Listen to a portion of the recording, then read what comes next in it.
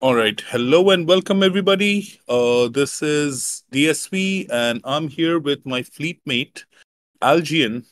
He is a long-time player of this game, has probably been playing this for a couple of years before I started. How are you, Al?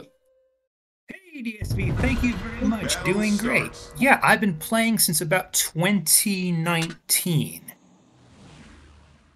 So, day or two, yeah. Haven't you gotten bored of this game already? Nah, nah, nah, nah, nah. I mean, to me, playing the game is half of it. The other half is the fleets, the people, the the fun, the bad jokes, especially when I'm telling them. Mm-hmm. So if it Yeah. if you were just playing ships and nothing else, then yeah, when when you're in a fleet that you know doesn't do much, or you're just playing TC absolutely solo, yeah, it gets a bit old. But for for me, it's the social as much as the the game. Yeah, I mean, uh, you have been part of a few brilliant fleets uh, over the years, and you know, I've been stalking you for a year now, trying to get you to join mine. So, you know, thank you for finally caving in. Oh well, thank you very much for being after me. Yeah, I I was NCP for a very very very very long time. Uh, I don't tend to jump massively around fleets. I was very briefly part of uh, an auto recruiting fleet when I first started, and then one of the NCP guys found me, and I was there up until very recently. Right. So, what we're doing here today is we're going to to look at the British battlecruiser lines, the new one. And the reason for that is because on DFA server, there are a couple of newer players who are having trouble with the line.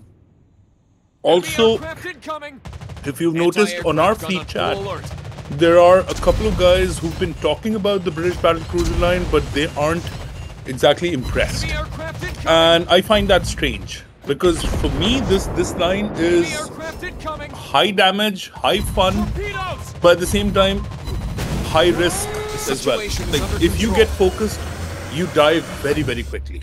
Oh yeah, And it um, can definitely take it can definitely give a punch, but it sure as heck can't take it. a true glass cannon, right? So Um, it's not quite as fragile as some. I mean, you go out there in some of the high tier Russian cruisers and, you know, put your head between your knees and kiss your butt goodbye if you get that wrong.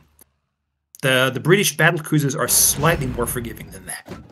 yeah, and especially when you come to the tier nine and the tier ten with the super heal, and if you have like the proper commander setup, you can take a punch or two. Destroyed an enemy ship. But that's it. Like a punch or two. defend area C. And you have to And, take it and the thing is, is that I'm not sure that I, you know, I know you said that you find something strange when someone's not taking to a ship.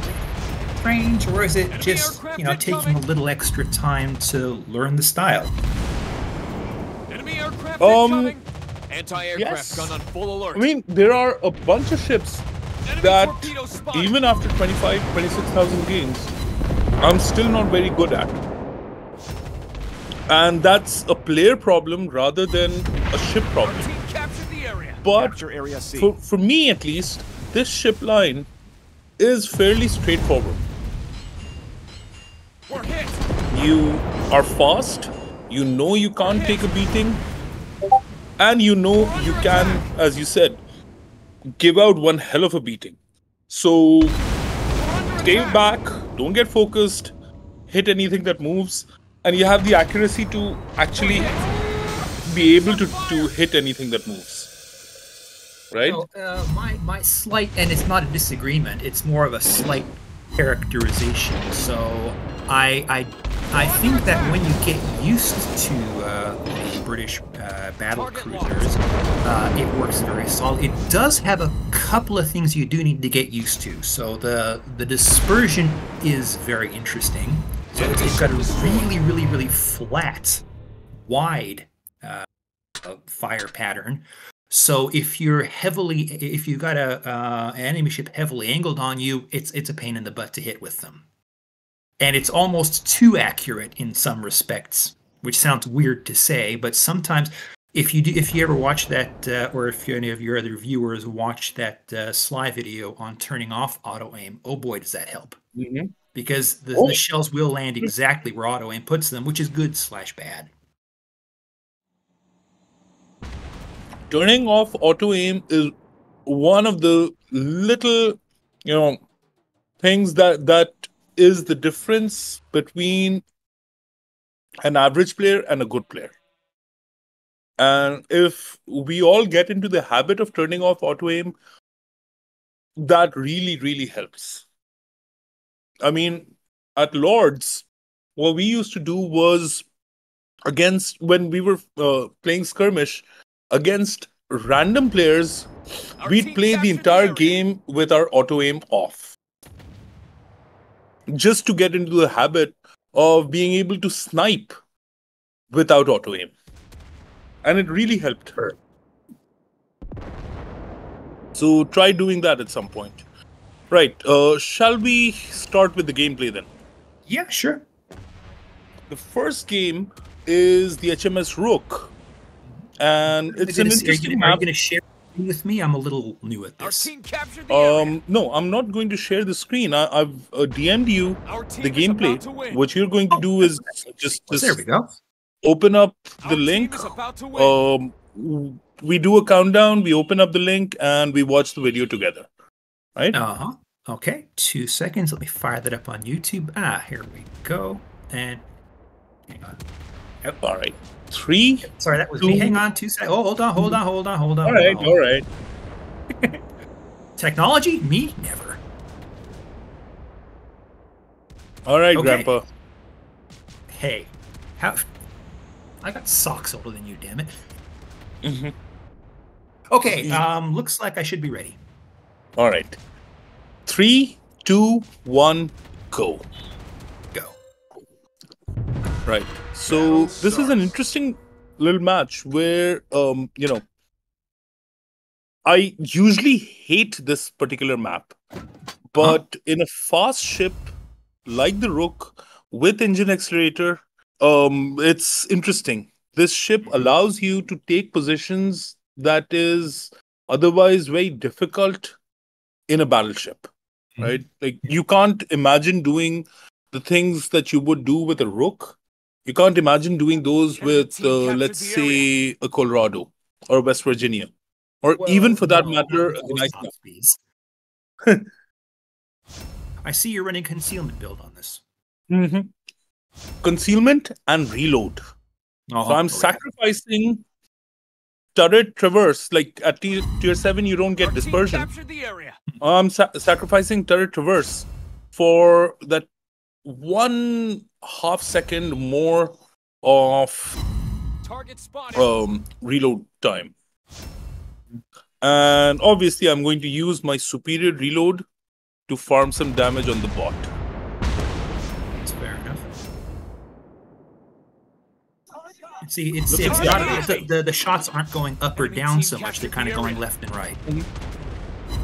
Yeah. So good Sigma and uh, pretty good dispersion as well. Like, when you say left or right, uh, they're Side, yeah, predictable. it's a, yeah. So it's it's it's a very very flat spread instead of a. If you look at some of the U.S. battleships, they have shots that go up and down as well as left and right. Now, because I noticed that this Omono is attacking, and because he's a cruiser, he's more likely to come under fire. I'm going to back him up, yet still maintain some distance and keep a way out if I ever need it. I can always turn and run. Hit there. Enemy team captured the area. Now, this Shumfon makes a critical mistake. He stops in his smoke and then starts reversing in a straight line.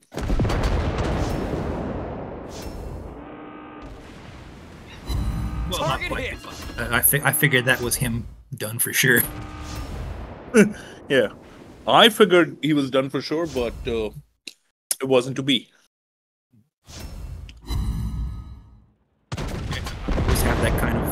Quite look, but not quite yet. I, I can knock him down to like a an inch of his life, and then just can't quite that get that last 100 HP. Somebody Uh, check out the, the points counter 395, 400 points to Uh-huh. our 230. This Yeah, match is pretty much done and over. We've lost. So, what do you do in this situation? Our team captured Uh, well, to quote the mighty Jingles, uh, put on your carry pants and go to town. Okay, it's kind Or just, just farm as much damage as you can, right? It's fair. And see there, you see because of those those shots are flat, you, you get some of them that are just flat gonna miss. Mm-hmm. Whereas on a more oval or a more upright uh, pattern, you get you can get more hits on uh, an angled ship. So when you're trying to get a good series of hits, sometimes it pays to have a little patience to wait till he straightens out a little bit.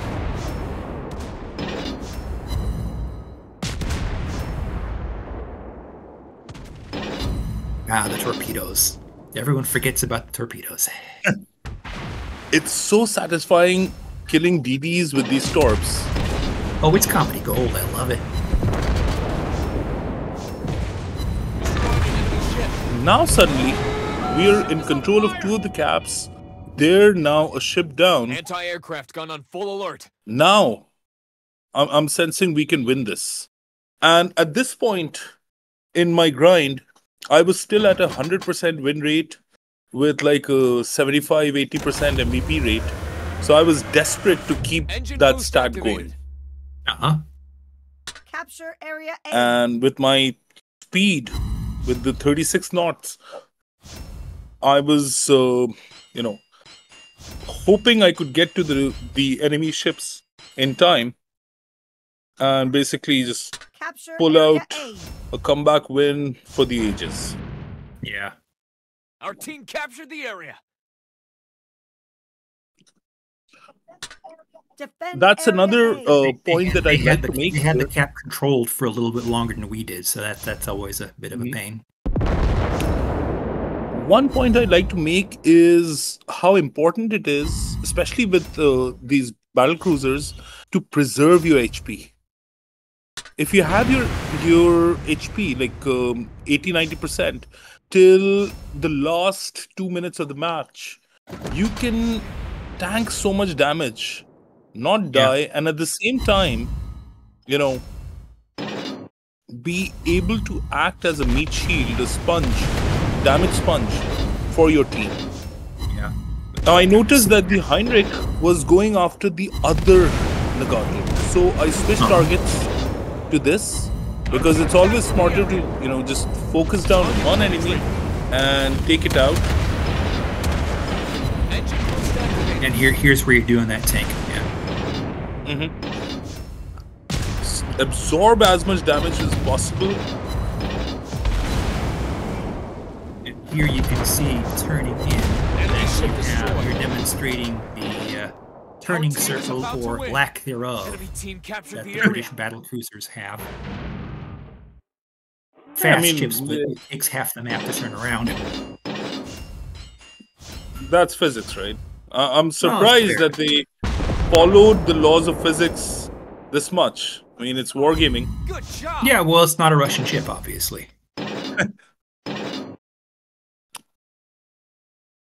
I mean, just going, turning, turning, turning. I mean, it's got a turn radius that's best measured in Yo Mama jokes. Like, Yo Mama's so big she could be a turning circle for the Rooke. That was really bad. I gotta keep up with Tetris. Mm-hmm. Yeah, I, I don't think you can even try to match him. Who do you think he learned it from back in NCP? So, I mean, I sh- I was planning on having Tetra next week as one of the um, you know guests on this, but uh, if that's what you're telling me that he- he'll be cracking these jokes, let's skip Tetra. Let's have somebody else. So you're saying we're both fired. Got it. Uh huh. Pretty much. You're a fast learner. Okay, so on to the next video. Uh, let me just copy that and send it to you. and we can start with this one. This will be interesting. You'll you'll enjoy this one. Well, I enjoyed the last one too. Uh, this is the Hawke, and with the Hawke, I used a very conventional build: uh, dispersion, propulsion, and concealment. Um, I am a big proponent of concealment now, and I try to run concealment on pretty much everything. Yeah, I've been kind Okay. of going that way myself, but actually fairly. Re- I used to be the the classic uh, acceleration and rudder guy, just trying to dodge my way at everything, and then I've been trying to push myself recently. Concealment build everything. All right, so let's start this. Three, Okay. two, one, go. Go.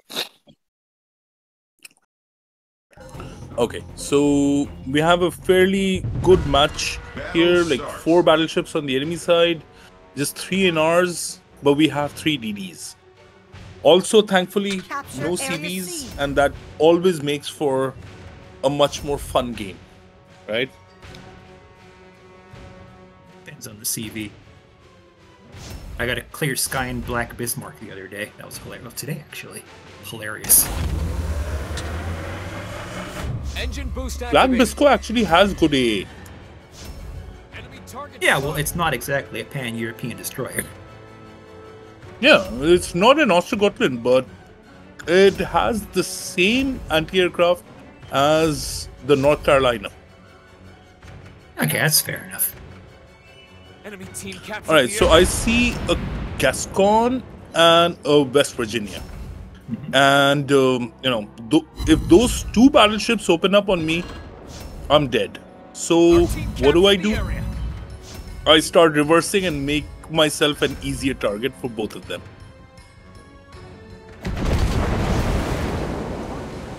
Our team captured the area.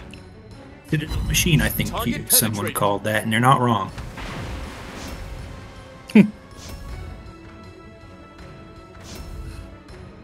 Um, the Rooke is more of a citadel machine, but the Hawke is no slouch either. Nice. What I'm trying to do, and doing successfully at least at, at this point, is throttle juke.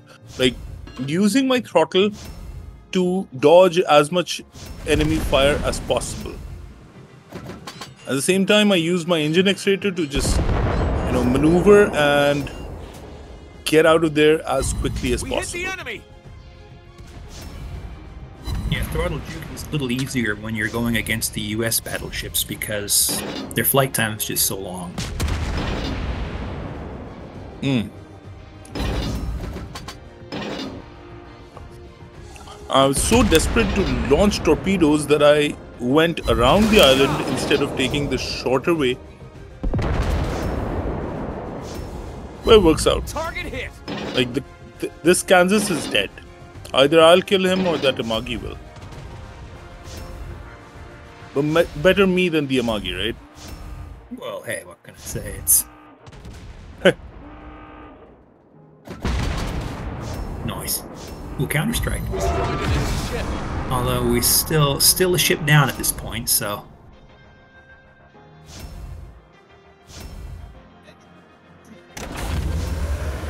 Yeah, like Engine we have boost control of the, the caps, but they have more ships.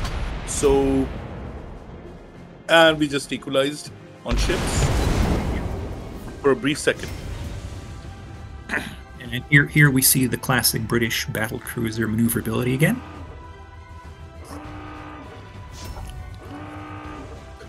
What I like is this this island was protecting me from incoming fire, and I wasn't even detected. I just got detected right now.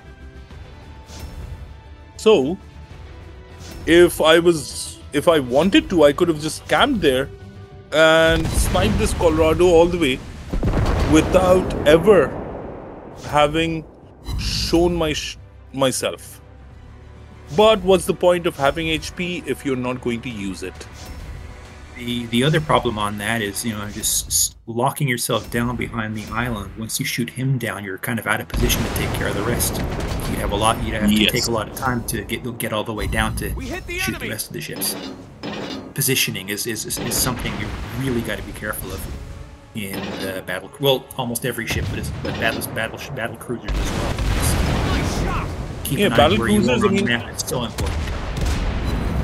You, you have the speed and- the mobility. Uh, if you're not using it, you're not, uh, you know, using the the strength of your ship. Yeah. Of course, sometimes in some gas, you get matches, yeah, um, you, you'll you'll see use of the gas right now.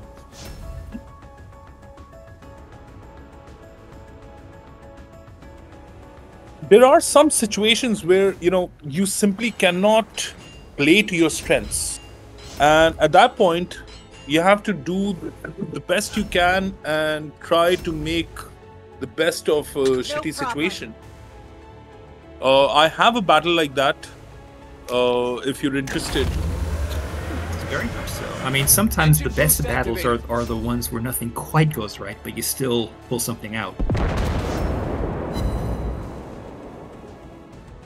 Now, this is a terrible situation. There's a Oh, yeah. Benson on one side, there's an Edinburgh right behind me.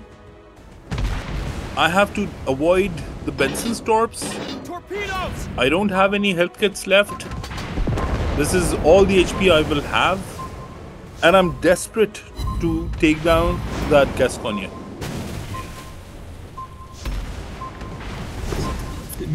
Yes, going to the right. Here I am, stuck in the middle with you.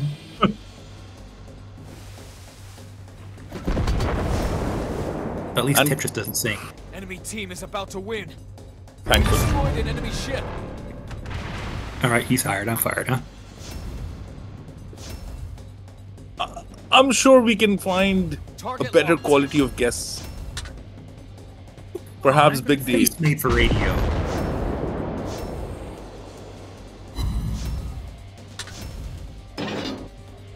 Yeah, Now, turn, turn, these- turn, turn. If you just hold on just that little inch longer when he's a bit more broadside, then you just nail him. Target hit.